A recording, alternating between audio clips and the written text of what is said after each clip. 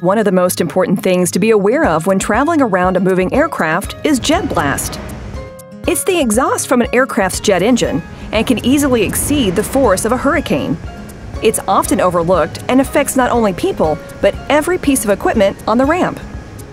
Ways you can help to eliminate your chances of causing or experiencing jet blast would be Clear a path for arriving aircraft to avoid the need for additional thrust to maintain momentum.